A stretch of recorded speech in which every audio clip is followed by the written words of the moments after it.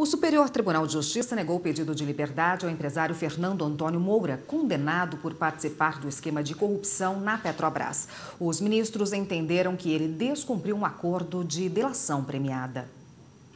A decisão foi da quinta turma do STJ. O empresário Fernando Antônio Moura foi condenado a 16 anos e dois meses de prisão em processo decorrente da operação que investiga o esquema de desvio de dinheiro da Petrobras. Ele estava em liberdade depois de ter feito acordo de delação premiada para fornecer informações e devolver cerca de 5 milhões de reais, valor relacionado aos crimes de corrupção e lavagem de dinheiro. Mas o acordo foi descumprido. No STJ, a defesa de Fernando Moura alegou que a prisão preventiva foi ilegal.